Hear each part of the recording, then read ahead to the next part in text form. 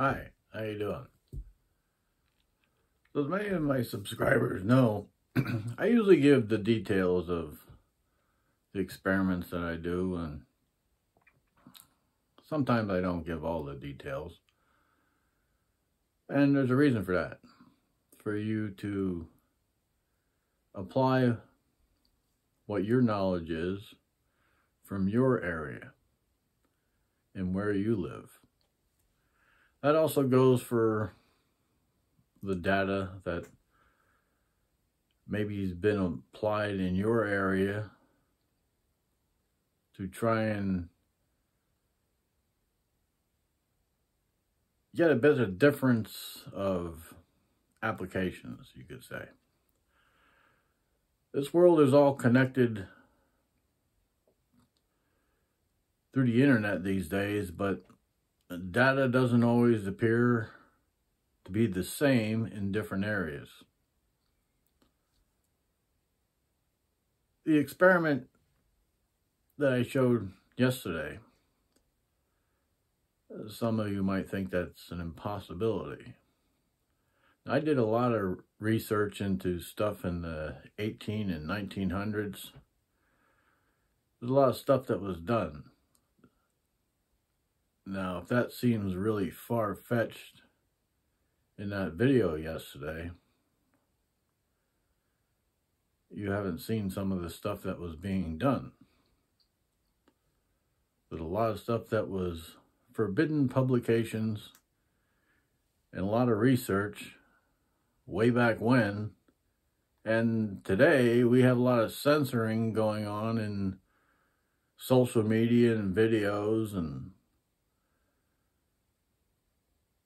being straightforward in a lot of stuff, giving detailed step-by-step -step of how to accomplish this and that isn't always a good thing.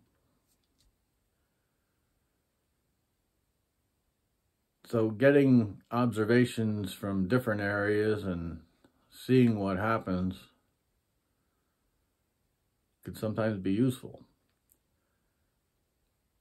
I do a lot of stuff that's sorting out what was done when all the energy stuff was being written. And of course, I don't know everything with stuff. But there's a lot of deciphering that goes on and a lot of mental challenge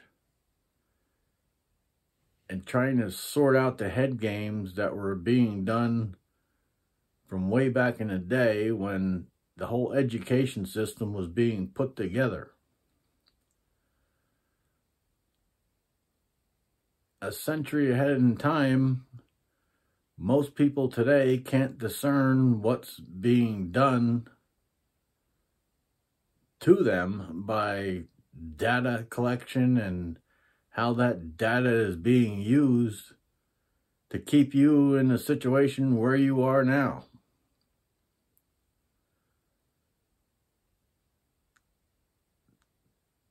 Trying to point out certain things is sometimes difficult because you got government retaliation for for sharing information. Heck, I've been going through hell since doing some of the research that I did.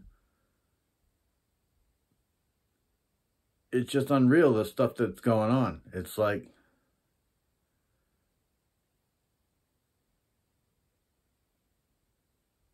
this this this country has been under a communist social rule in the United States and the people can't seem to discern that they're not free, they're living in communism. It's not a democratic society. I hate to get into politics type stuff, but this type of sorting stuff out, having to figure out what's going on with things is a very challenging situation when you got data collection systems that are being used against you on a daily basis. You can't even get away from this stuff because it's it's everywhere. And it makes it very difficult for researchers to move ahead with what they're doing when you got continuous holdups in the background by this data disbursement without you really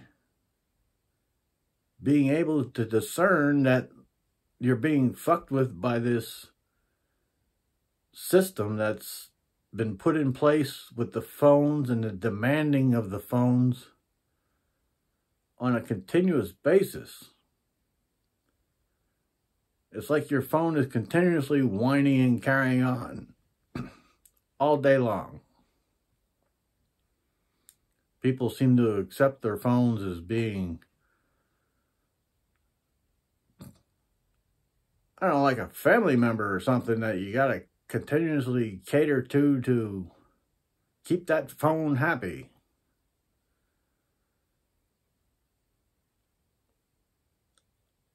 The future of this world doesn't look good. Put it that way.